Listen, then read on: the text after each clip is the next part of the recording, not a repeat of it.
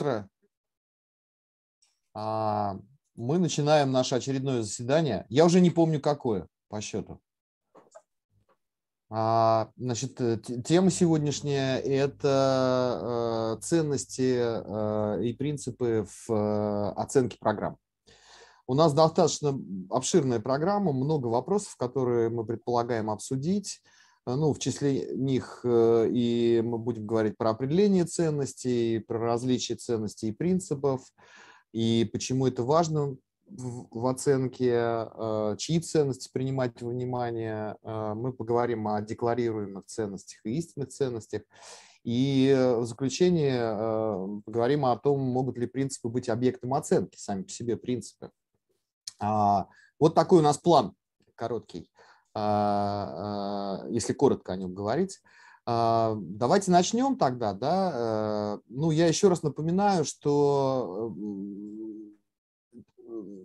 ну, форма, по форме, да, у нас будет презентация, которую Алексей Кузьмин э, сделает, их несколько будет а, в ходе. У нас будет обсуждение в малых группах, и, конечно, мы будем обсуждать в большой группе а, а, этот предмет.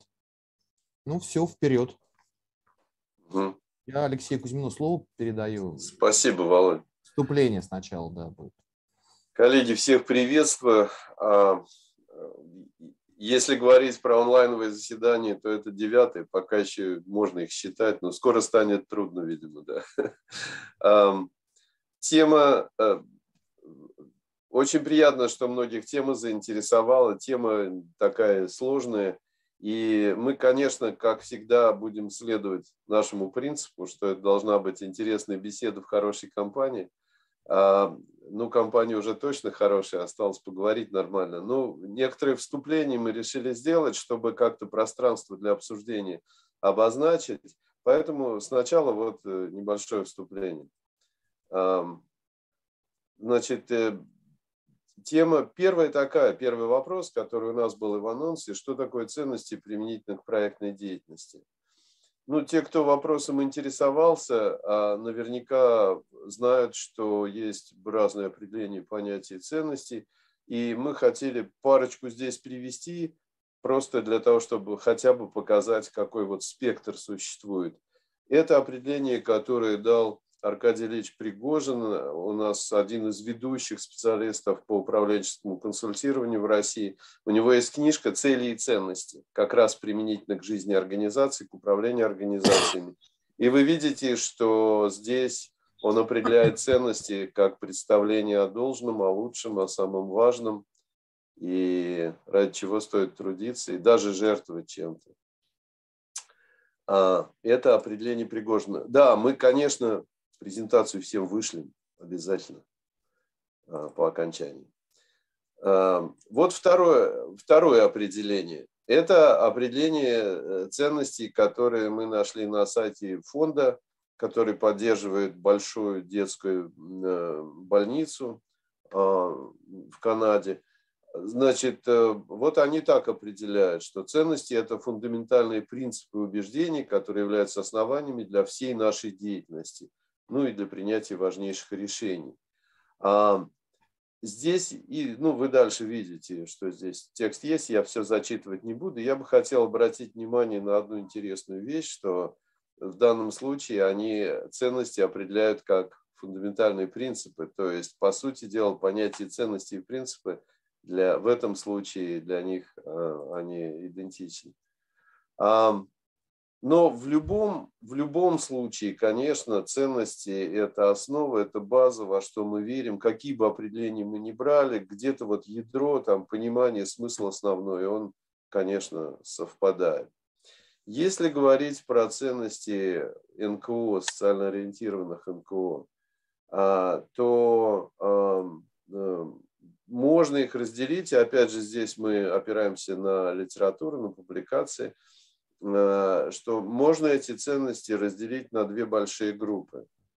Одни ценности относятся к тому, что мы хотим изменить в мире к лучшему, и они как бы вектор вовне направлен, да? А другие ценности связаны с тем, как мы работаем, и это вектор внутрь направлен. И А, вот э, в качестве примера мы решили взять ценности ассоциации э, специалистов по оценке программы политик, всем известной организации, конечно же. И а, вы видите, вот, например, а, здесь сверху вторая ценность – устойчивое развитие профессионального сообщества специалистов по оценке программы политик в России является ценностью для этой ассоциации. Да?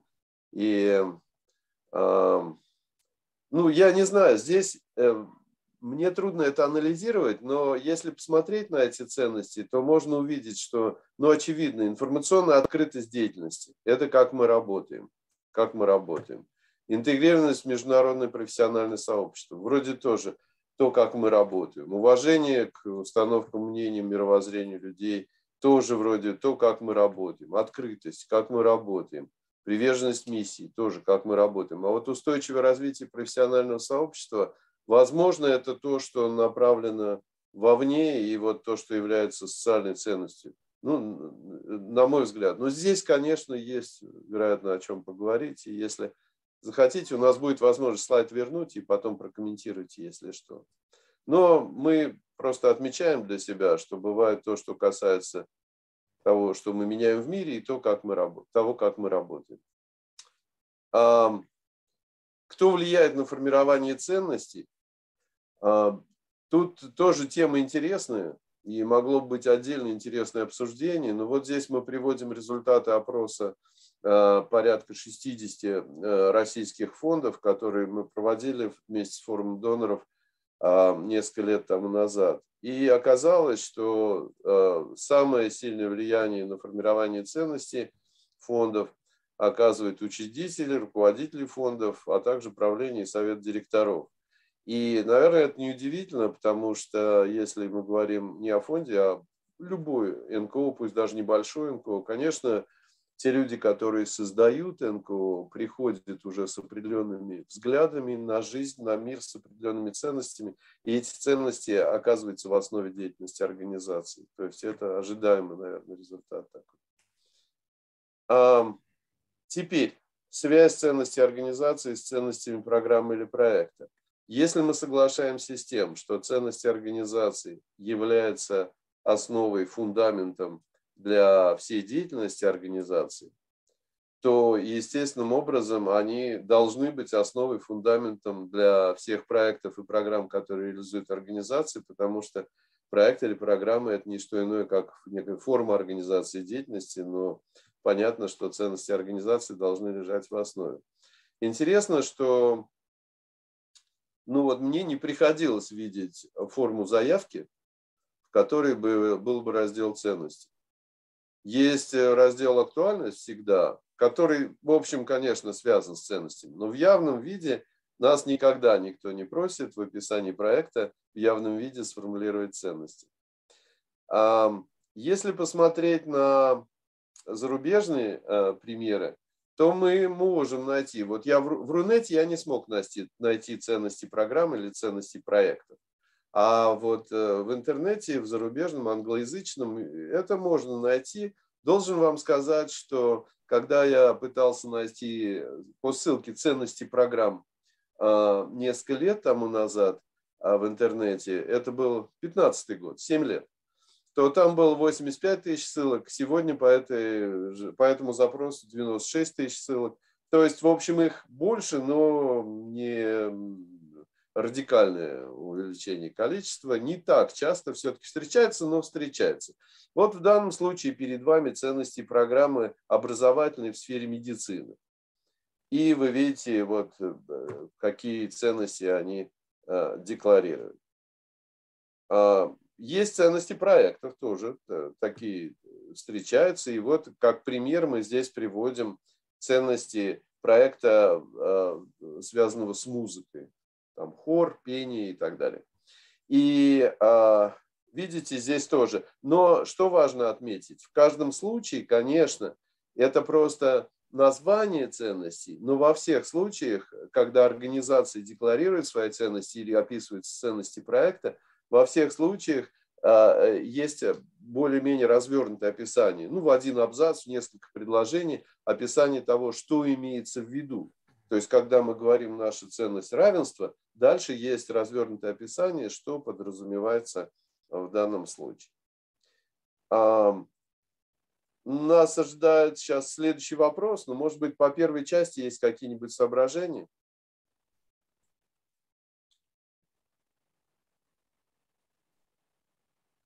Ну вот Вера там э, комментарий сделала в э, чате, что э, ну, в стандартах вот этих качества ну, нет указаний на определенные ценности, но есть указания на то, как взаимодействовать организациям между собой в сфере понимания ага. ценностей. Ага. Такое важное добавление. Угу, угу. Спасибо. Я так понимаю, что это стандарты, связанные с управлением качеством или стандартом, связанным с управлением в области корпоративной угу, социальной ответственности. Угу. Угу, угу. Хорошо. Так, ну, я тогда я дальше. А, комментарий да, дам быстренько в двух да, словах. Да, Это э, стандарт э, вообще вот не, не совсем про качество, а именно про взаимодействие. Ага. Оценщиков и всего прочего. Я вот э, сейчас еще скажу. Я, может быть, кому-нибудь из вас пришлю ссылку, и даже у меня скачан этот стандарт. Угу. Там вот сейчас, почему мне для меня важно пока, сейчас вот где медики там написали про себя, там как раз вот кусочек вот такого взаимодействия. Ну, кроме, наверное, доброты и сострадания, а вот это все прямо там есть. Э, там есть раздел «Б» такой. Больше я не буду на эту тему. Я, может быть, вот Алексей вам пришлю, посмотрите. Давайте, а мы всем разошлем. Вера, а чей это стандарт? Кто его разработал? Это стандарт эм, ребята из Англии придумали. А, угу. Да, и значит, ну он давно как-то тут вот бродит после того, угу. как появилась у нас в России попытка перейти на бизнес-модель устойчивого развития. Угу. Потом это все заглушили, вернулись на Кайзена, 90-е годы. И вот тогда он у нас в России был опубликован, а я просто чищу, вот в одиночке сижу, чищу свои старые приходы. И вот Присылайте, пожалуйста. Все, Присылайте. Мы, может быть, прям сразу в презентацию включим и все посмотрим. Хорошо, спасибо большое. Зашлем. Вам спасибо. Хорошо, коллеги, ну то переходим э, к следующей ага. теме. Да, продолжаем. Да, Вал, спасибо. Ну вот, коллеги, это следующий вопрос, вытекающий из предыдущего. Одно и то же принципы и ценности или не одно и то же? Очевидно совершенно, если начинаешь вот э, смотреть просто то, что публикуют, то граница какая-то немножко размытая, потому что очень часто мы можем увидеть, что на сайте, например, раздел будет называться «Принципы и ценности» или «Ценности и принципы».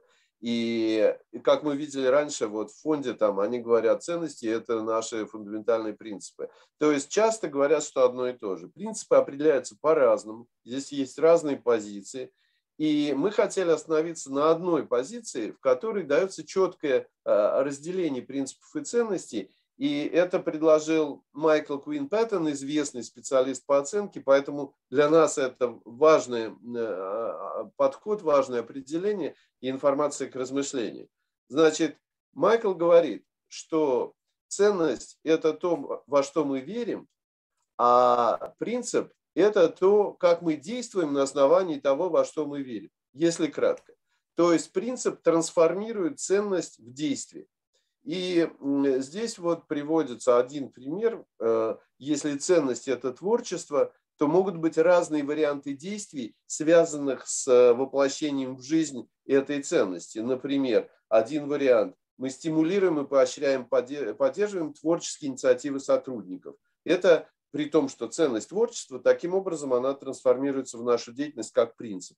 А другой принцип, также основанный на этой ценности, может быть так, так сформулирован. Мы организуем учебный процесс на основе выполнения творческих заданий. И принцип – это предписывающее такое утверждение, которое а, определяет, как э, нам следует действовать. А, и мы вот хотели предложить просто тоже в порядке обсуждения. Смотрите, мы взяли один из вариантов, есть понятно, несколько вариантов можно найти принципов гуманистической педагогики. И э, мы взяли один из вариантов, здесь будет пять принципов, они так и опубликованы на сайте.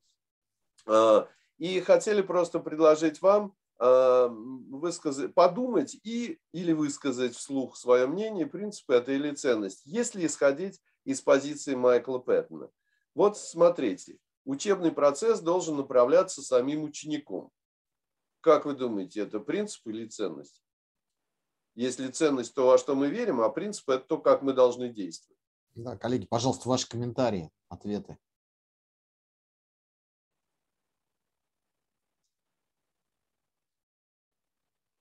Наташа Тишкевич пишет э, ценность. Мы как информацию к размышлению, поэтому я думаю, все уже подумали достаточно. Кто хотел, высказался. Можно ну, писать в чате. У, у, у Наташи аргумент такой, потому что мы в это верим. А, ну да. А, а как мы действуем для того, чтобы учебный процесс направлялся самим учеником? Это другая тема, да, Наташ? Я, я понял. Ну, на самом деле, тут среди участников ответы, я сейчас посчитать не могу, но ответы делятся. И да. э, то, что это принципы, и то, что это ценности. Я хочу вам сказать, коллеги, что эта позиция Маклпэттона, ну, она, по крайней мере, она понятна более-менее, но он даже в своих книжках, в своих публикациях приводит примеры дискуссий с очень серьезными людьми, которые не соглашаются с таким определением принципа. Поэтому тут вопрос тоже открыт. Но если исходить из этого принципа, школы должны готовить учеников, которые хотят учиться и знают, как это делать. Ваше мнение?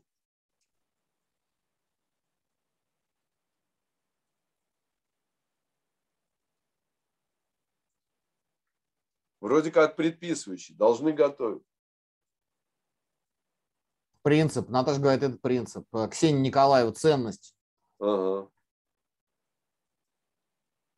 Ну вот, да, мы получаем примерно тот результат, который и, наверное, можно было при, предсказать. А единственная форма значимой оценки – это самооценивание. Ну вот здесь, э, мне кажется, все должны согласиться, что если исходить из определения Майкла Пэттона, то вообще-то это ценность. То есть э, мы в это верим, а дальше мы должны каким-то образом выстроить систему оценки, чтобы она базировалась на самооценивании, и это должен быть принцип какой-то. А это вроде как ценность, ну, мне кажется. Хотя, да, чувство, как и знание, является важной частью процесса обучения. Да, туда? Меня там нет, если что. Ксения, у вас микрофон. Я себя тоже не буду. Чтобы не писать, вот поразмышлять просто, Леша. Да, да. Да, а, ну вот, а мне кажется, здесь еще самое ключевое, наверное, могу ошибаться. А, просто ты умеешь задавать вопросы, как обычно в это, врасплох застаешь. А мне кажется, вот смотрите, ровно так же, как и про учеников. Если мы говорим о том, что это формирует как действие шаг сами ученики, ну, условно говоря, там э, разрабатывают какой-то свой кодекс или какие-то свои правила и так далее, то тогда, а, когда это они декларируют, или вот во втором случае, когда школа это предъявляет, то это принцип. Если же, а, на мой взгляд, если же вот с точки зрения учебного процесса вот первого, а, первого положения, первого тезиса. Если про это говорит школа, если она заявляет, то ровно то, как, вот, на мой взгляд, и кажется, школа верит в то, что ученики могут сами а, направлять учебный процесс, и она тогда будет какие-то действия к этому разрабатывать, да. чтобы мотивировать на учеников. Ну, то есть здесь, наверное, еще с учетом того, что все-таки кто является декларатором вот этих вот тезисов. Конечно, Наверное. очень важно, Наташа. Я, я согласен с тобой. Спасибо. Но вот если последнее взять, Наташ, то чувство, как и знание, является важной частью процесса обучения. Я бы сказал, что вот если из позиции Майкла исходить, это скорее ценность. Да, потому это ценность. Что, да, потому что дальше что? Если мы в это верим, то тогда мы говорим, мы строим учебный процесс таким образом, чтобы у детей не только знания развивались, но и условно развивался эмоциональный интеллект. И тогда это э, при, при э, трансформировании вот того, что мы, во что мы верим, в некие действия. Ну вот последнее еще, тоже ученику ничто не угрожает. То есть смотрите, что получается, что, во-первых, довольно трудно провести грань. На самом деле определение довольно такое инструментальное, которое Майкл дает. И те принципы, которые здесь приведены, если следовать позиции Майкла, они в значительной мере как бы тяготеет скорее к ценностям, чем к принципам. Вот такая вещь любопытная. Ну и вот смотрите. Можно реплику? О, да, да, да, конечно. А, я насчет чувств. А, честно да. говоря, вот это любопытно, потому что, ну, по большому счету, любой человек, который вообще хоть как-то знаком с биологией, он просто понимает, каким образом, ну, а, мозг получает информацию об окружающем мире. И это не предмет веры вообще. То есть это не просто не ценность, но это факт, да, это закономерность. Поэтому, честно говоря, мне кажется, какие-то вещи, но если мы говорим про рамку, которая определяет, а, ну, это будет и там, и там в определенном смысле, и это совершенно нормально. Угу. И даже не вопрос, в какую коробочку это положить. Вот. Угу. Я, я еще лишь, э, прежде чем дальше перейти, э, Давай. Надежда Радистская так э, уточняет как бы вопрос, да, утверждение вопрос. Получается, принцип – это ответ на вопрос, как мы это делаем, а ценность – ответ на вопрос, почему мы делаем именно так. Угу, вот угу. согласен ты ли с этим утверждением? Надежда, я примерно так это понимаю, вот позицию Майкла, да, я ее в данном случае транслирую. И мне кажется, единственный тут важный момент, вот ответ на вопрос, как мы это делаем – он дается не в виде рецепта, ну, что добавить пол э, чайной ложки соли, да, а в виде рекомендации добавить соль по вкусу. Вот тогда это принцип будет. Я так это понимаю. Вот, Анатолий, да. да. Ну, и еще, наверное, здесь вот то отличие по хулигане сейчас, э, засада такая есть. Ценность это, а, ну, собирается сообщество, где, где больше там одного, это уже сообщество и могут декларировать там, типа, мы а, гуманисты, мы за светлое будущее, но не факт, то есть ценности могут обозначены, но не факт, что могут быть сразу разработаны принципы. То есть это вот, а, и, и навер, наверное, ну, так хочется, наверное, думать, что скорее сообщество формируется, когда есть какие-то общие ценности, а, наверное, в меньшей степени принципы. Mm-hmm ну, хотя, наверное, тут тоже можно поспорить, э, потому что все-таки объединяемся мы сначала, когда мы чувствуем тягу друг к другу по, по каким-то интересам, и это скорее уровень ценности, наверное. Ну вот. И а в потом продолжении, уже, Наташа, а потом если уже ценности не да. совпадают, то вместе вряд ли... Да, уже тут ни один принцип не спасет, да. на мой взгляд. Да. Вот, Оля. Да. Ну, я вот хотел э, замечание Юли развить немножко. Я когда думал про четвертое, второе снизу, про чувства, э, у меня нет ощущения, что это ценность, и я начал пытаться понять, э, как бы я сформулировал или на какую ценность это работает. Э, э, и у меня есть ощущение, что ценностью в данном случае является, что мы подходим как к ученику, как к личности, ну и понимаем многогранность этого ученика, и что мы работаем не только на знания, а мы также учитываем весь комплекс всех вот вещей. И вот э, мне кажется, что ценность, она лежит где-то вот на том уровне, что мы подходим к нему. А это вот в той коробочке, а, а, это один из признаков того, что мы действительно будем работать на эту ценность, тем, что мы будем учитывать как чувства, так и будем работать на знания, будем заботиться об этом, вот я бы так сказал. Угу. Поэтому мне, мне вот здесь не хватает ее, для, для того, чтобы я бы назвал это ценностью, мне не хватает уровня. Мне кажется, надо чуть-чуть на уровень выше подняться, и тогда это станет ценностью. А можно я тоже комментарий сделаю еще, тоже продолжение, вот то, что Толя сказал. А, ну, тут же еще стоит принцип гуманистической педагогики, и надо иметь в виду, конечно, что ну, гуманистическое направление там, в психологии, в представлениях о человеке, даже в философиях, там тоже есть своя как бы система. И, э, ну, и в этом смысле, ну вот мне кажется, очень важный вопрос, как мы понимаем и принимаем, что является ценностью, а что принципами, да, потому что если, ну, там, представлять э, то, о чем Карл Роджерс писал, да, я бы, например, согласился, что этот список скорее все-таки принципы, чем ценности, потому что там есть определенная система, сформулированная им.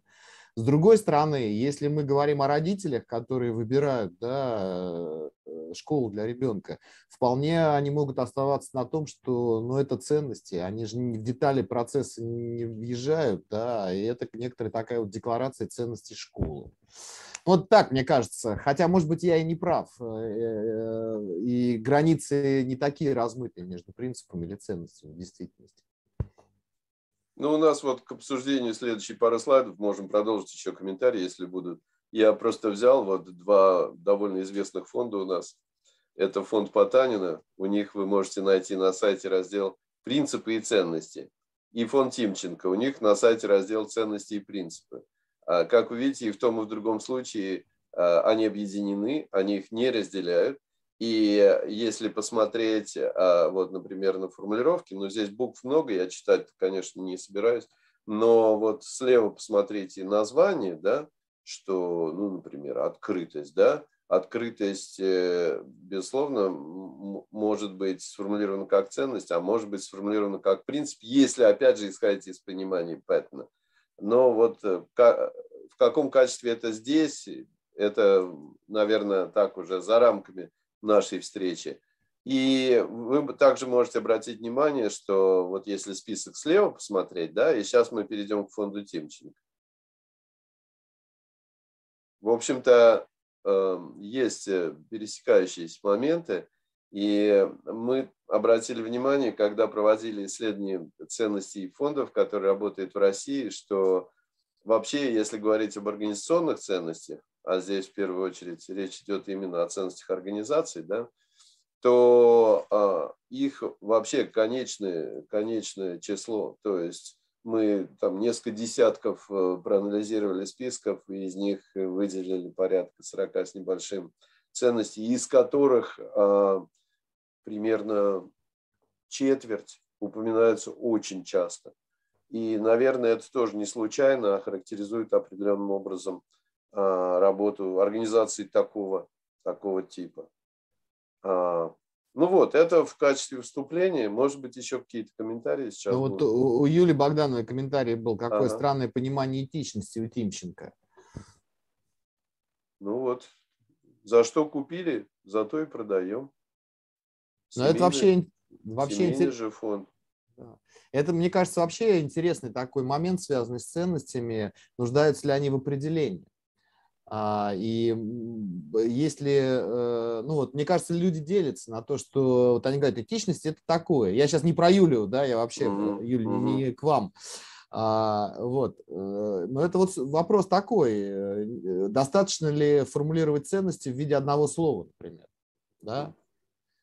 И... Вот мне кажется, в развитии того, что Анатолий сказал, Володя, мне кажется, в виде одного слова точно недостаточно, потому что оказывается, что даже в виде одной фразы недостаточно. И очень важно, как, какие смыслы за этим стоят, безусловно. И поэтому, когда люди вот вместе формулируют, как Наташа говорила, то, конечно, там такой интересный разговор идет, и люди в том числе подбирают слова, которые адекватно отражают то, что они хотят сказать, те смыслы, которые за этим у них. А так вообще под смелостью тоже, например, можно разные вещи сформулировать. Да. Ну да, и получается тогда нам нужно еще различать определение ценности, да, или ну, раскрытие. Внимание, и, внимание к личности, когда да, это внимание да. по, по, декларируют разные, разные организации, благотворительный фонд, например, и э, Следственный комитет. Но еще бы я бы одну вещь здесь добавил, э, уходя от Следственного комитета, какая тема рискованная немного. А, значит, а, э, Извини, про... Да. Я, я хотел сказать, что вот если принципы вроде как, ну, можно, можно, они могут быть вроде бы объектом оценки. Ну, потому что мы можем, например, сказать, работает или не работает принцип, да? То ценности вряд ли могут быть объектом оценки. Потому что ценности – это то, что люди принимают, и они говорят, вот мы приняли это. И проводить рейтинг ценностей, оно как бы кажется совершенно бессмысленным, а, и это вне, вне оценки находится. Их важно понимать, но оценивать, выносить о них суждения, допустим, правильно или неправильно, хотя, может, в каких-то случаях и можно. Ну как правильно, неправильно? Соответствует или не соответствует моим, например, это можно. А вот оценивать, какие хорошие, какие плохие, тут, наверное, проблема. Ну, можно ли оценивать степень определенности? Ну да, ну да, может быть. Ну, не знаю. В общем, вот такая тема тоже есть. Мы переходим к работе в малых группах э, и э, предлагаем вам в малых группах э, пообсуждать и получить какой-то список ответов вот на, на эти два вопроса. А каковы ценности и принципы организаций, в которых мы работаем – и говорим ли мы их открыто. Значит, мы разделимся на три группы. У нас фасилитаторы будут э, Алексей, Марина Михайлова и я. Вот. А по группам вы разделитесь случайным образом, а вопрос для всех групп будет один. И я Павла Военского, бессменного организатора и человека, который поддерживает нашу коммуникацию, попрошу вот сейчас э, разделить на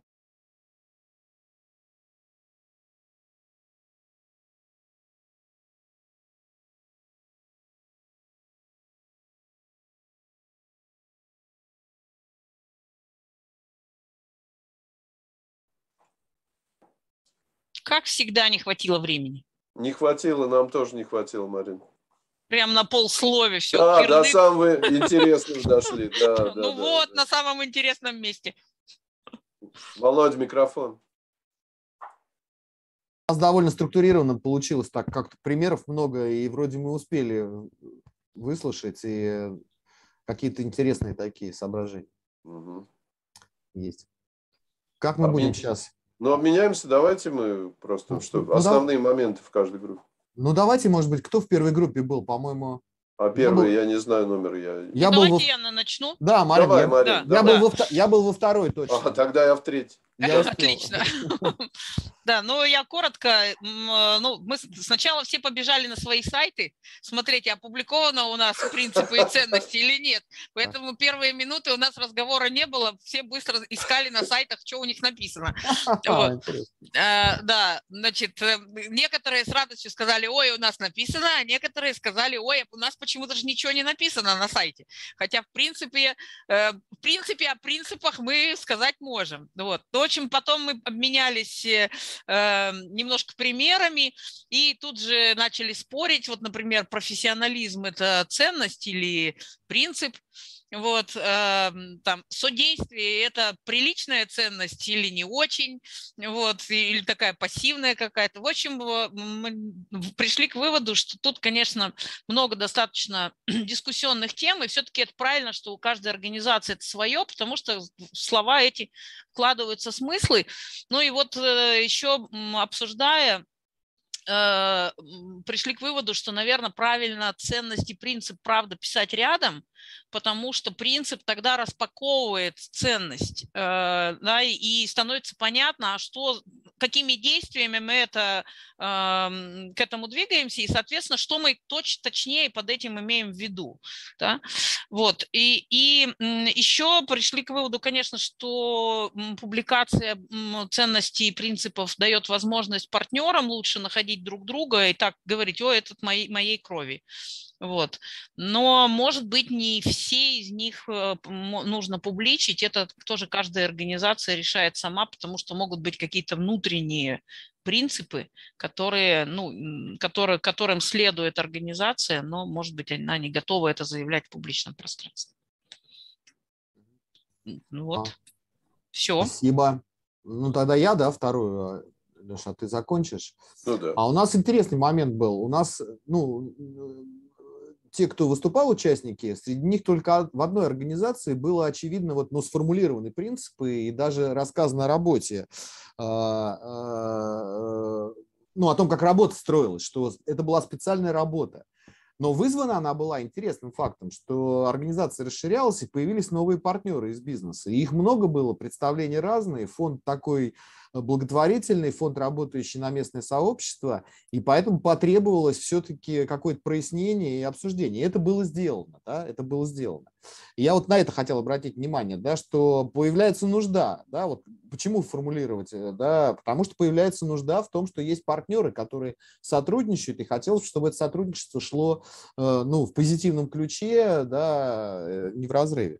Вот. А в, а в основном тоже говорили, что ценности не сформулированы были, но один факт, что вообще-то они складываются, когда люди долго работают, и даже если организация конфигурацию свою меняет, там, от НКО обычный переход в ресурсный центр такой региональный, да, люди перешли. И оказывается, все, что было наработано там, оно продолжает работать, да, э, даже если мы не формулируем. Но интересно, что даже если мы не формулируем ценности, иногда события какие-то или поведение сотрудников приводит к тому, что люди ну, увольняются или уходят сами, или их просят уйти. Потому что вдруг оказывается, что человек что-то делает перпендикулярное тому, как мы это себе представляем. И это к вопросу о значимости формулирования. Вот.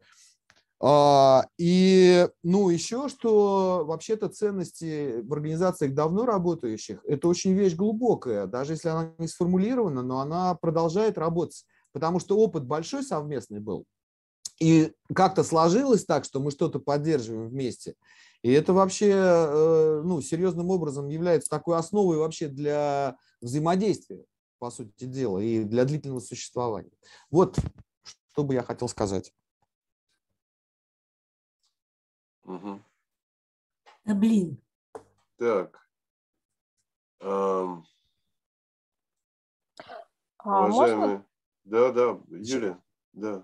А, ну, я просто, честно говоря, для меня вот это понятие рамки, оно очень важное, потому что, ну, если ее нет, вообще очень трудно двигаться. И я там вспоминаю, например, а, кодекс э, американских врачей, ну, где написано, что врач – это тот, кто сохраняет жизнь. И, собственно, это очень сильно ну, проясняет позицию, почему врачи а, публично, например, не участвуют в смертных казнях. То есть, да, а пенитенциарная система находит этих людей, но с точки зрения как раз этики, во-первых, это сделать очень непросто, и это огромное облегчение сообществу, когда а, люди определились, а не кто. А, вот. И мне кажется, с точки зрения общественного блага, ну, ценность этого какая-то гигантская просто, просто гигантская. No. Mm. Потому что это в том числе, там, не знаю, надж, драйвер, а, в общем, ну, в данном случае все-таки к сокращению ну, тех штатов, которые до сих пор используют смертную казнь. И этот тренд, он такой совершенно четкий. No. Mm-hmm.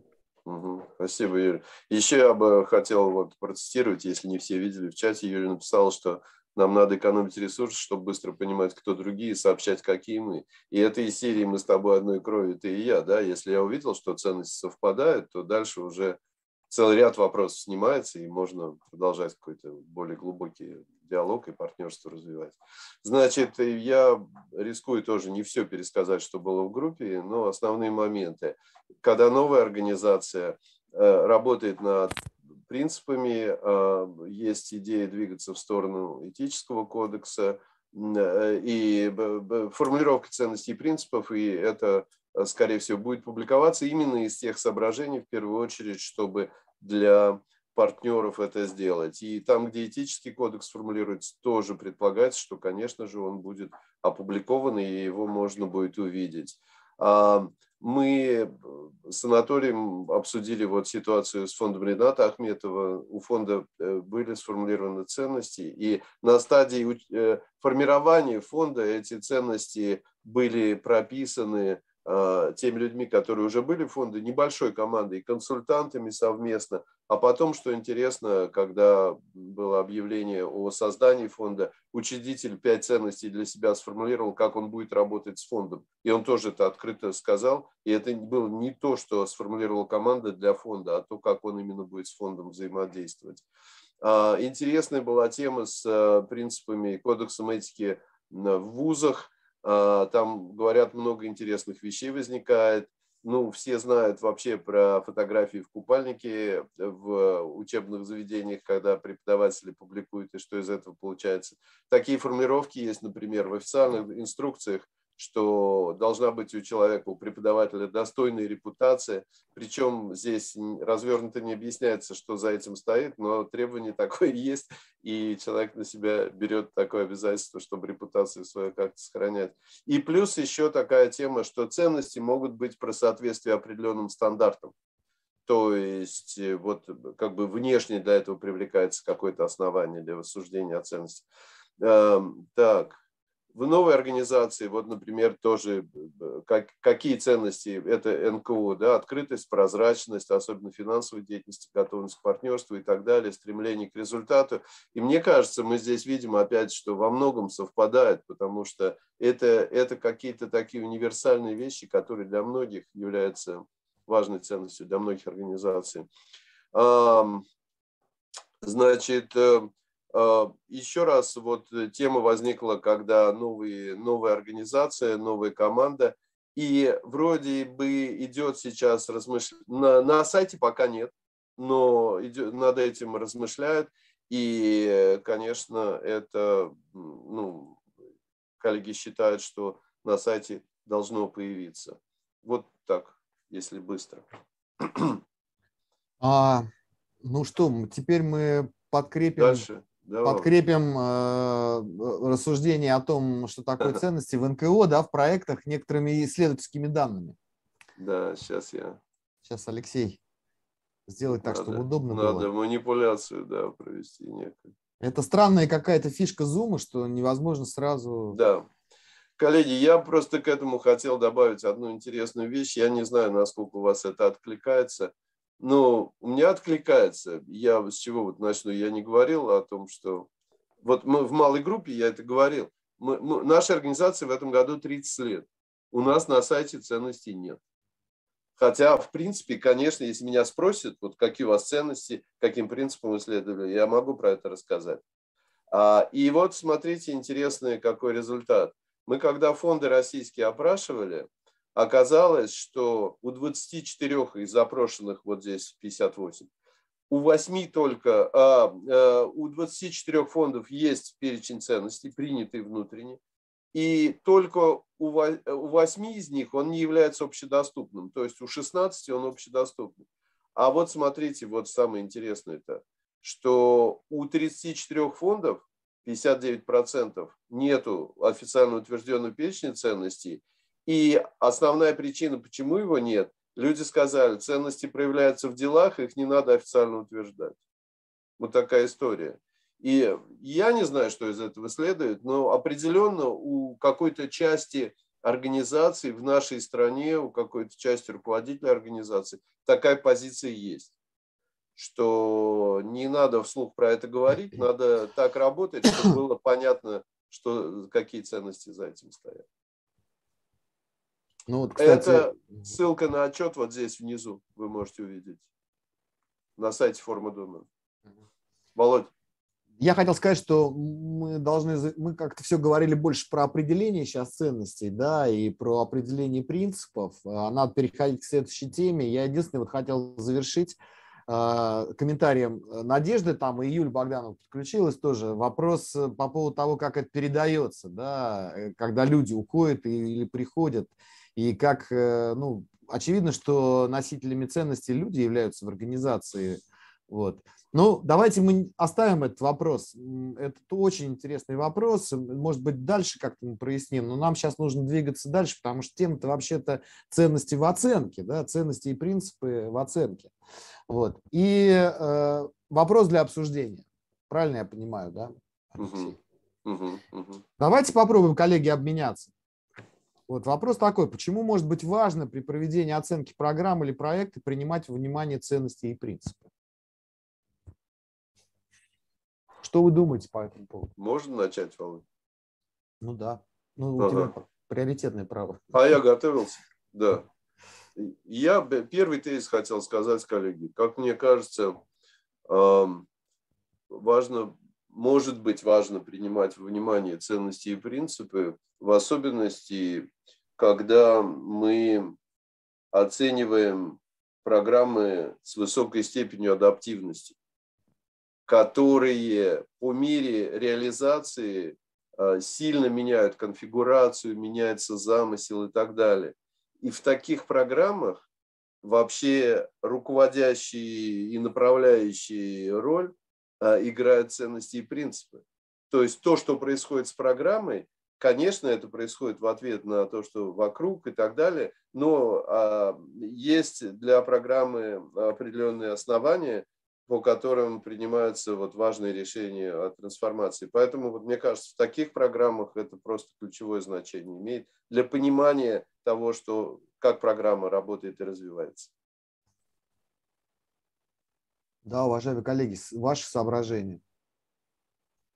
Ну, дело в том, что, мне кажется, одно без другого просто невозможно потому что даже гипотезы могут ну, возникнуть ошибочными, если не принимаются ценности и принципы, а потом те программы, которые оцениваются а, ну, не точечными какими-то врезками, да, а это вот такой процесс, который просто абсолютно интегрирован а, в работу, то, соответственно, если все это не учитывается, то будут вообще большие смещения и искажения, потому что даже сами процессы, а, то есть если, скажем так, важно просто заниматься оценкой, то те процессы, которые будут, ну, вот этими там внутренними, а, и если они не опираются на ценности и принципы, они могут искажать там воздействие, интервенции, ну и просто банально нарушать принцип «не навреди», поэтому, ну, конечно, это рамка. Хорошо. У меня, знаете... Можно о, да, да, да. Да, пожалуйста, да, Анатолий. А, мне кажется, тут а. очень важный вопрос уже при выборе, когда мы как оценщики собираемся оценивать проект или программу, совпадение или конфликт принципов и ценностей оценщика и той, того проекта и программы, которую надо оценивать. И если не обращать внимания на угу. то, что декларируется организацией, которая реализует проект, либо программу, либо самого проекта и программы могут возникнуть конфликты в процессе оценки. Наши ожидания будут не совпадать с ожиданиями того, кто реализует. Мне кажется, это тоже очень важный аспект, еще даже не дойдя до оценки. Будем мы с этой э, программой, проектом работать или не будем. Да, это важно, такая внутренняя часть, э, как бы оценочная такая, да, наша, наша. Кто-то еще поднимал руку, если не ошибаюсь. Анатолий. Я Анатолий. поднимал и опустил. Меня все время вот это вот немножко смущает. Э, ну, то есть, допустим, декларируемая ценность, и она на сайте есть, семейные ценности, да, э, и расшифровки нет. А если мы спросим, например, расшифровку, что люди поднимают под семейными ценностями, оказывается, что у них принципы, например, там муж и жена, одна сатана, или там да убоится жена мужа, и, и такой список традиционных семейных ценностей. Вот. А, таких основанных, там, 2000 лет назад написанных. Вот. И мы, нас может напугать на самом деле. Хотя изначально декларация ценностей как бы будет ну, нормальной.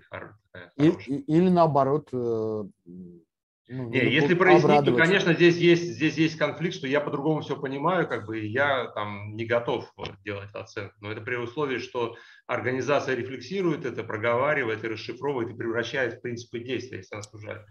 А, кстати говоря, еще оценка важна, если мы занимаемся что-то связанное со стратегией. Потому что ну, стратегия строится на базовых ценностях, базовых принципах. Это ну, вот у меня еще есть э, небольшой комментарий. Вот, да, пожалуйста. Скажем, э, опираясь на свой опыт, вот у старых организаций у них миссия прописана на сайте. И вот под этой миссией, ну, например, я участвовала в оценке, скажем, некоторых таких по ФПГ, и там было видно, что вот эта организация, вот она 15 лет работает, да, и 15 лет она соблюдает те ценности, которые прописаны в миссии. Смысл существования у организации такой. Поэтому тут нельзя сказать, вот есть у них ценности, нет у них ценностей, но они есть во всей их деятельности. Их видно.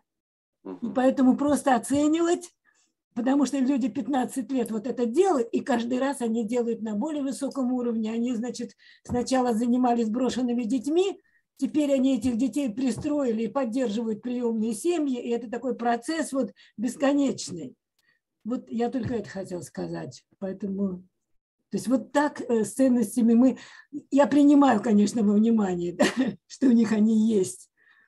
Вот. Но потом есть организации, которых, э, ну, вот, ну, я могу себе позволить не участвовать в оценке, если меня приглашают, если я понимаю, ну, сейчас же все равно все видно, да, можно найти и отзывы, и все прочее. И если я вижу такие отзывы, я просто не пойду оценивать эту организацию, потому что так как они себя ведут, я могу дать отрицательную оценку, и я не хочу этим заниматься. Вот, вот так вот. А такие организации есть сейчас которые пишут принципы, да, ценности, а потом оказывается, что они им не следуют. Уважаемые коллеги, у меня тоже такая мысль возникла, я бы хотел поделиться. А я бы вот э, поставил, ну, ответил бы иначе на вопрос, там, почему важно, да? А мне кажется, иногда это очень рискованно, считать, что это важно. Ну, например, а, в конце концов, проект, любой проект – это некоторые действия и результаты, да, и в этом смысле э, мы можем видеть разрыв там между ценностями, мы можем видеть, что нам что-то не нравится. Но вопрос ведь про результат, а не про то, что люди декларируют, и тем более во что они верят. Вот. И, может быть, ну, важно учитывать, но как бы не апеллировать к ним в ходе оценки. Вот так я бы сказал. То есть учитывать важно и разбираться важно. Но иногда важно не апеллировать и не поднимать эту тему вот насчет «не буди лихо». Это вот первый момент. Мне кажется, здесь есть о чем поразмышлять. А второй момент, мне кажется, еще очень важно учи- участвовать, вот Алексей сказал о программах таких адаптивных, да, когда ну, проект, по сути дела, формируется по ходу, да, можно так, если кратко сказать. Но с другой стороны, а, ну, часто некоммерческие организации мир же меняют, да, я в хорошем смысле сейчас, не в ироничном говорю, но в том смысле, что пытаются решать проблемы способами и путями, которые, э, ну, может быть, не использовались раньше там, в этой местности, в стране и так далее. И мне кажется, вот это вот важно очень аккуратно, потому что, ну, это могут быть болезненные вещи, э, необходимые, но болезненные вещи. И вот для меня все равно вопрос, э, это к вопросу об адаптации, например, технологий. Можно ли привносить в почву, которая, ну, технологии, которые ценностно сильно отличаются там, от повседневной жизни людей, вот так скажем. В общем, это вопрос. К следующему перейдем, Володь. А, сейчас здесь был комментарий один, я Давай. посмотрю, может быть, как раз завершающий, да.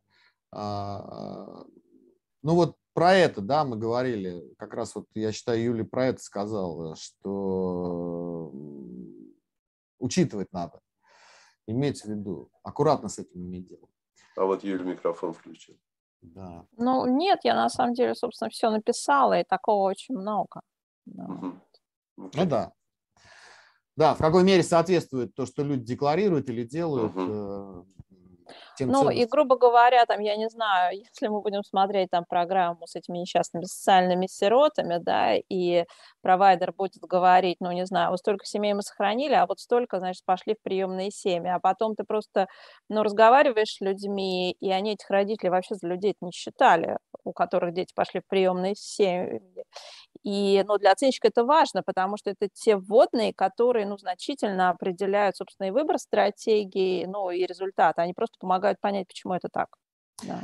Юль, спасибо. А у нас как раз следующий вопрос, вот, связанный с этим комментарием. Да? И тоже вопрос, коллеги, к вам. Если мы говорим, что важно при, при, при, иметь в виду, да, то а вот если мы говорим о проекте, то о, о, о чьих ценностях и принципах идет речь? Некоммерческая организация, если, да, Володь? Да, да, да мы, ну, мы же говорим про проекты, mm-hmm. про проекты МГУ, mm-hmm. тематика mm-hmm. такая. Чьи ценности и принципы следует принимать внимание и почему? Ну, мне кажется, зависит от характера организации. Ну, вот тут уже сегодня звучало у нас несколько раз про частные фонды. И, по-моему, если фонд частный, когда человек отдает свои деньги на благотворительность, то ценности э, учредителя очень важно принимать во внимание. Ну, почему Алеш, я даже не буду объяснять, да? А тут, знаете, вот тут, тут на самом деле все очень интересно, потому что общественное благо – это такая штука, а, ну, непростая. Я там знаю учредителей, которые а, приходя к провайдерам, как раз они потом делали свои фонды, они говорили, что да, мы хотим сделать шелтер, только, пожалуйста, нам вот студенток отберите, мигрантов брать не надо, а, вот. Ну и понятно, да? Понятно. И когда фонды говорят, ну, мы вам просто можем показать э, профиль людей, с которыми мы работаем, а, ну и потом люди создают свои фонды, а, вот. А, и мне кажется, это здесь на самом деле огромное пересечение, конечно, с а, профессиональными ценностями, потому что провайдеры, которые ну, работают сложнее низкопороговых программ, а, я, честно говоря, не понимаю, если нет ну, вот рамки профессиональных ценностей, ну, куда это может увести. Угу. Ну, вот Надежда к этому сказала, что вообще-то надо и общественные ценности э, учитывать, да. потому что это сложно развести э, пользу и вред не только профессиональный, например, да, но и то, что в обществе фигурирует. Анатолий Я, Рука. Анатолий, да. А, я вот комментарий хочу сделать по частным фондам, и раз пример уже приводился. Я быстренько тоже побежал потом на сайт, посмотрел, а, если задекларированы а, принципы учредителя, есть до сих пор висят. 15 лет он сказал, они, они такие же, вот как были. Он это называет философией своей. Вот. Но важный момент. А, у нас фонд прошел трансформацию примерно 6 лет назад, и сейчас там абсолютно другая команда, и там абсолютно вообще другие принципы на самом деле. Это вообще это две, две разных организации с двумя разными философиями, с двумя разными культурами. Хотя вот э, философия учредителя и там, и там отражается. Просто, может быть, разные аспекты немножко и его подходы. И, конечно, учредитель имеет э, э, доминирующую роль в формировании э, ценностей. Но я хочу сказать, что и команда, вот, вот этот пример, вот этот кейс, когда существуют две вообще абсолютно разные команды. Вот. Наша команда, которая ушла там 6 лет назад, все практически ушли. Мы до сих пор там раз в три года, может быть, собираемся. В этом году, наверное, в конце года соберемся и ну, то есть, как бы, это команда тоже определяет очень сильно. И еще один важный момент. А, а, кто в команде? А, мне кажется, что это идет от э, там, топ-менеджмента, да, определения ценностей. Но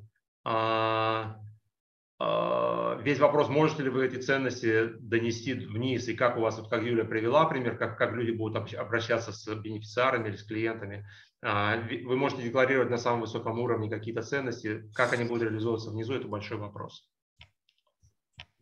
Да, вот Юля комментарий сделал э, к этому рассказу, Анатолий, но человек же меняется, да, учредитель меняется, может, оно и нормально так. И Я не буду комментировать этот вопрос. Хорошо, это был комментарий, не обязательно это. Э, Леш, ты хотел что-то сказать, да? Если никого нет, я тогда вклиню. Да. Ага. Э, мне кажется, что вот важный был комментарий по поводу э, ценностей, эм, которые создают некий контекст культурный, социокультурный. И мне кажется, это особенно важно в тех случаях, когда проект поддерживается организацией или реализуется организацией, которая из другой культуры приходит. Ну, мы знаем много случаев, когда там зарубежные доноры поддерживают проекты и так далее, и закладывают уже какие-то идеи. И в этих случаях очень важно, конечно, учитывать вот ценности, вот, которые лежат именно в социокультурном плане, в среды, в которой мы начинаем работать, и, ну, можно сказать, в том числе ценности благополучателей, как людей, которые здесь живут. А, Я могу просто... пример привести могу. Ну, а, может быть, приведешь, потому что у меня, да, вот, пример, у меня есть пример, внутреннее да. возражение такое. Ну, я не знаю, ну, возражение ли оно хотел. Ну, не, не, легко, да. Значит, э, пример такой. Вот э, одна из стран Центральной Азии, в которой, ну, понятно, своя, своеобразная культура такая, и э, традиции есть и так далее. Значит, приходит зарубежная организация, которая стремится к тому, чтобы они очень обеспокоены, значит, правами женщин и положением женщин в обществе, и трудоустройством женщин. И вот они вкладывают значительные средства в то, чтобы женщин подготовить к работе по новой профессии. И профессию они выбирают. А, это, значит, оператор на металлообрабатывающем станке. Ну, это абсолютно обречено. То есть а, они... И это, я видел этот проект, ну, как бы сталкивался с ним по жизни, это я не придумал. И понятно же, что деньги будут освоены, что даже, может быть, они научатся, но никакой совершенно перспективы нет и решения проблемы с трудоустройством никакой не будет и так далее. Ну, или, например, другой проект тоже приведу пример из Центральной Азии, тоже почему-то сейчас вспомнил два случая. Значит, вопрос в том, что, опять же, вот эта тема с правами женщин, равноправием женщин и так далее. И они начинают работать с девочками в младших классах, объясняя им, что на самом деле у женщины в обществе должно быть положение другое совершенно не принимаю во внимание, что вокруг происходит. Как к этому те же мальчики относятся в этом классе. Я уже не говорю о семье, которая за пределами школы. Я вот про эти вещи имел в виду. Спасибо. А я ну, просто хотела угу. еще добавить, э, Володь, если позволишь. Да. На самом деле это еще очень важно все-таки для перехода вот в эту нормальную парадигму минимизации вреда, потому что, ну, мы, например, работаем, а мы работаем а, в раннем вмешательстве, и да, действительно, например, ценности функциональной реабилитации очень важны для нас. Но при этом мы отлично понимаем, что родители находятся часто ну, в таком нехорошем эмоциональном состоянии, что туда просто невозможно дойти, поэтому вот те самые результаты, да, которые всем хочется, особенно донорам, они часто будут очень скромны. Причем при том, что потенциал прироста у ребенка мог быть гораздо больше. Но в том числе для того, чтобы вообще, а, ну вот, просто жить рядом с таким в определенном смысле фейлом, да, вот, как раз а, принципы и ценности очень важны, потому что, ну, грубо говоря, надавить-то на клиента вообще не вопрос, только что потом-то будет. Вот. И как раз это очень, ну, помогает людям оставаться в реальности. Ну, я просто для себя как бы завершаю обсуждение этого вопроса, если позволю себе завершить, поскольку моя обязанность за временем следить. Но получается так, что если говорить об оценке, да, э, то на самом деле конфигурация ценностей, которые складываются в проекте, включая конфигурацию ценностей оценщика, э, который включается в оценку этого проекта, это вообще важный компонент такой. Э, ну, тут вопрос технический, как его там прояснять или не прояснять, но оказывается, они между собой эту систему взаимодействуют, и вообще это может влиять на выводы в конечном итоге и э, там рекомендации, которые специалист по оценке может сделать. И Э, вопрос, как в этой конфигурации ну, выживать, что ли, проводить оценку, да, и что там делать с разными вещами, которые могут нравиться или не нравиться. Давайте мы к следующей теме перейдем. Тут у нас иллюстрация одна, коллеги, мы да. ее оставим в презентации, потому что на самом деле э, ценности это не только про оценку, но и про проектирование. И да. А, один из подходов к проектированию, который вот коллеги из Соединенных Штатов обещали книгу написать, но мы ждем все с 2015 года. А, значит, они сказали, что начинаться проект должен, они так назвали, с дизайна ценностей. Ну, имеется в виду самоопределение, формулирование ценностей, которые в основе лежат. И это должно быть неотъемлемой частью проекта, и э, такая вот идея существует. То есть в проектировании, конечно, надо учитывать. И здесь мы вот указали несколько сторон. Понятно, что есть ценности финансирующей организации, которые гранты дает, да, в общем случае для НКО. Ценности самой организации, которые не должны противоречить ценностям финансирующей организации. И ценности проекта, и тут благополучатели, и партнеры, и все это надо, конечно, в общем случае иметь в виду и при проектировании, и при проведении оценки. У нас была эта тема в обсуждении следующая по поводу вот, э, ну вот в нашей группе очень остро, да, когда люди дол- много работают, да, долго достаточно, на самом деле ценности не сформулированы, и вдруг они выскакивают в каких-то ситуациях, да, когда человек делает что-то не то, что-то противоречащее, да, и что с этим человеком делать. Вот. А, ну, вот этот вопрос. Э, как выявить истинные, а недекларируемые ценности и принципы? И, кстати, для оценки, если говорить, да, вот когда мы говорили, конфигура... учитывать конфигурацию ценностей, а как мы их э, не то, что там учитываем, чтобы учесть, надо вообще как-то сформулировать или понять там, или осознать, почувствовать и так далее. И вот э, и в условиях, когда далеко не все декларировано, а с другой стороны, ситуации, когда что-то продекларировано, но есть ощущение, что в реальности э, люди действуют иначе, да, э, не в соответствии с этим. Ваше соображение, коллеги.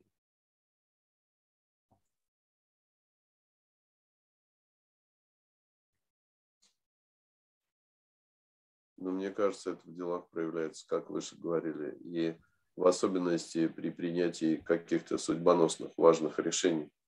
А, ну, я один пример приведу, если можно, да, Володь? Да, конечно, я, да, я коротко, как бы да. в группе обратился. Ага. А, у меня такой пример вот есть из, из нашей практики. Организация экологов, которая работает в при Каспийском регионе, а вы знаете, что на Каспии очень неблагополучная ситуация, в том числе из-за деятельности нефтедобывающих компаний. И э, эта организация экологов, она оказалась в серьезном кризисе, то есть перестали, э, закрылись все грантовые конкурсы, где можно было получить деньги для таких организаций, и они, в общем, на грани э, были существования, закрытия. И вдруг к ним обращается нефтяная компания и говорит, мы вам хотим дать, вот мы знаем, вы хорошей деятельностью занимаетесь, мы, занимаетесь, мы вам хотим дать миллион долларов и для этой организации это была бы гарантия на несколько лет. Причем они говорят, что мы сильных ограничений не будем. Мы видим вот как бы направление вашей деятельности. Мы все поддерживаем. Давайте, ребят, и мы вам дадим миллион. И вот вопрос в этом случае, э, принять эти деньги или нет.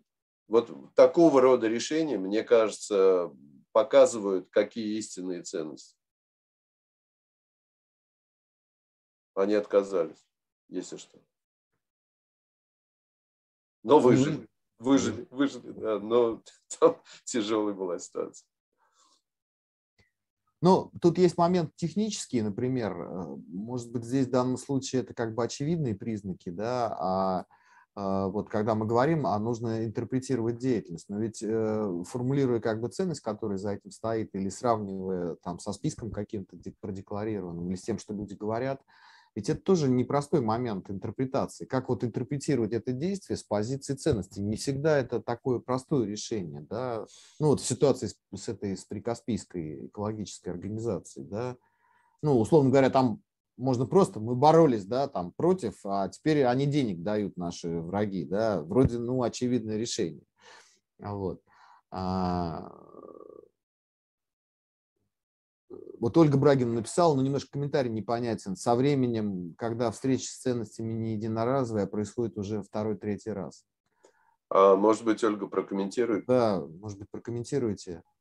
А, ну, а, когда в какой-то момент, например, там с теми же с э, партнерами, с благополучателями, то есть это можно э, красиво задекларировать и ну, так скажем, по-русски, по русским языком один раз э, может проканать. Но когда к этому вернешься второй, в третий раз, ну, то есть уже, чтобы вы там не декларировали, истинное будет все равно понятно, что ты не сможешь каждый раз только прикрываться тем, что написано.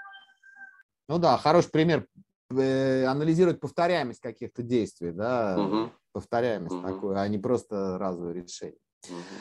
Уважаемые коллеги, у нас немножко времени мало, но мы тут, э, еще у нас есть тема содержательная такая, и Алексей подготовил презентацию. Вот этот вопрос, может, могут ли принципы, сами принципы да, а, а, быть э, предметом оценки?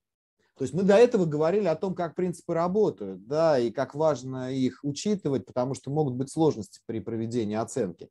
Но здесь вопрос, можно ли оценивать, собственно говоря, да, что-то про принципы напрямую в качестве технического задания. А, коллеги, ну, презентация это немного громко сказано. У меня там один слайд, и я думал, может быть, какие-то вопросы будут этой серии продолжение следует. Вот это вся презентация. Значит, э, что мы хотели сказать? Что да, действительно появилась оценка, которая так и называется, оценка фокусированная на принципах или оценка ориентированная на принципы. И а, ее а, предложил такой, такой подход э, Майкл Пэттон, известный вам, которого мы уже сегодня упоминали. Значит, что здесь важно? Он ввел критерии того, что является хорошим принципом, и там есть шкалы. И вот хороший принцип должен быть направляющим, предписывающим, полезным, воодушевляющим, адаптивным и оцениваемым. Это на самом деле очень интересно. Когда начинаешь это на практике применять, это очень, очень интересные критерии для оценки принципов э, вот, э, уже существующих в организациях. Значит, э, и тут важный момент, на какие вопросы может отвечать оценка, ориентированная на принципы. Первый вопрос, видите, каковы базовые принципы, из чего исходит автор здесь этого подхода? Он говорит, что не во всех случаях принципы программы или проекта в явном виде сформулированы, поэтому иногда надо начинать именно с формулирования принципов. И я могу сказать, что мы вот такую оценку проводили. В прошлом году мы провели именно такую оценку, ориентированную на принципы, и начали именно с этого. И поскольку коллеги, чью программу мы оценивали, очень давно вместе работают и давно ведут подобного рода программы, формулирование принципов не особенно много времени заняло, они у них присутствовали где-то в головах, но никогда на бумагу не ложились. Вот мы с этого начали. Дальше. Являются ли принципы ясными, значимыми и действенными? Такой вопрос. Дальше. Соблюдаются ли принципы на практике? Вот о чем только что говорили. Да? Корректировались ли принципы с учетом внешних обстоятельств? Тоже важный момент. Э, может мир вокруг так поменяться, что придется и принципы поменять в каких-то случаях. И если корректировались, то как, какой это имело эффект. И последний вопрос, приводит ли исследование принципам к желаемым результатам. Эта книжка, в принципе, доступна в онлайне в электронном виде. Есть уже публикации, ну, за деньги, а есть публикации, где а, можно о, основных положениях такой оценки а, почитать. И а, плюс а, Майкл стал вести видеоблог, и там у него тоже появляется сейчас а, эта тема. Наверняка он будет про это тоже говорить. Ну, все пока на английском. А, какие-нибудь здесь вопросы, коллеги? Ну, вот у Юли вопрос был, э, да. ну, про заказчика вроде ты ответил, что есть такие заказчики, да. а вот почему они решили провести оценку, ориентированную на принцип? Почему они... Um, um, Юля, у них, э, как я говорил, они уже давно ведут программы сходные по содержанию, по дизайну, с более-менее одной и той же целевой группой – и э, поскольку у них была возможность провести оценку, они хотели, чтобы эта оценка для них была максимально полезной, и они понимали, что их не очень интересует, как работает сама программа, а их больше интересует, что, как работает то, что стоит за программой, потому что они это никогда не анализировали. И поэтому Подождите. они решили использовать средства, доступные им на оценку, для того, чтобы получить полезную для себя информацию. А, мне просто интересно, а все-таки, ну, что на самом деле стояло за словом полезно? Они хотели изменить процессы, у них не хватало решительности самим, то есть им нужен был какой-то толчок извне? А, я бы не так сказал. Я бы сказал так, что они хотели отрефлексировать, что стоит за кадром, и в явном виде это сформулировать. И мы, кстати, обратили внимание, что после того, как та оценка была проведена, э, их принципы стали появляться уже э, в следующих программах и э, публичными стали. И они стали объяснять людям, что вот программы, они работают на основании таких-то принципов. То есть это какой-то такой шаг вперед с посторонней помощью. Наверное, это они могли бы сделать и сами. Самооценивание такое могло тоже быть. Ну, по сути, да. То есть это был какой-то ну, этап, к которому они подошли, нам нужна была как раз помощь, чтобы двинуться дальше. Да, я думаю так. Угу. Уважаемые коллеги, у нас такая встреча подходит к концу. У меня, знаете, вопрос какой возник вам, может быть, заключительный. Он такой простой. Вот мы выбрали для сегодняшней встречи такую тему ценностей, да, принципов. Э, и в меньшей стиле говорили о технологиях. Как вам показалось, насколько это заседание было каким-то полезным для вас? Ну, Могли ли вы поделиться впечатлениями? Всегда приятно поговорить. Ну, это так, хорошо, принимается. А ну, я не знаю, мне кажется, просто человек вообще существо, ну, довольно логичное, поэтому очень важно время от времени, ну, вот, э, не ходить э, там, где экшен происходит, а все-таки, ну, вернуться и посмотреть на сам выбор и чем он определен. Mm. Потому что, ну, это вообще просто очень полезное упражнение. Спасибо. Нет, ну, если серьезно, то, конечно, во-первых, я говорю, было полезно тем, что, ну, во-первых, зашли, посмотрели э, в очередной раз, есть ли у нас принципы в организации, это немаловажно. Вот. А другая, другая штука – это то, что а, я соглашусь с Юлей, а, мы всегда вот в нашей суете, в беготне мы как-то начинаем а, там обсуждать или э, садиться, то, что здесь и сейчас, вот это нужно сделать, какая-то такая тактическая задача. А априори понимая, что, конечно же, у нас есть высшие там идеи, предназначения, мысли, которым мы следуем.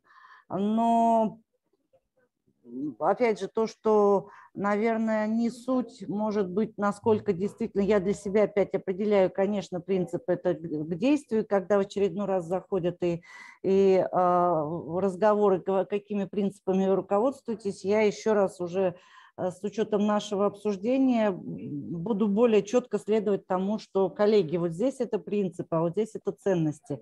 А по большому счету, мне кажется, а, разговор был тем хорош, что мы еще раз поднялись на уровень чуть выше того, что мы каждый день делаем. Это очень полезно. Спасибо.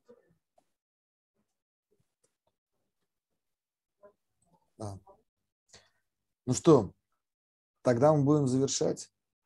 Я хотел сказать, что мы презентацию обязательно вышлем всем, кто зарегистрировался и был. Да. И второй момент, следующее заседание во второй четверг следующего месяца. И в последующие месяцы тоже. Да, и мы надеемся продолжать в этом году. То есть, вернее, не то, что надеемся, мы-то будем продолжать. Приходите, будем бросать. Ну, мы надеемся, что мы будем все-таки успевать. Заходите, заходите. Если у кого-то появится прям вот неотложная такая идея, э, чему можно было посвятить э, следующее заседание, там, или, ну, следующее очередное, пишите, пожалуйста. У нас есть э, Адрес на, на Да, на презентации будет адрес. Да, пожалуйста, ваше предложение с удовольствием. Ну, пока вот мы думаем, как бы двигаться и думать, что может быть интересным. Да, мы так все время как-то экспериментальным путем двигаемся. А так всем удачи и здоровья. Здоровья обязательно. Спасибо, было очень приятно увидеться.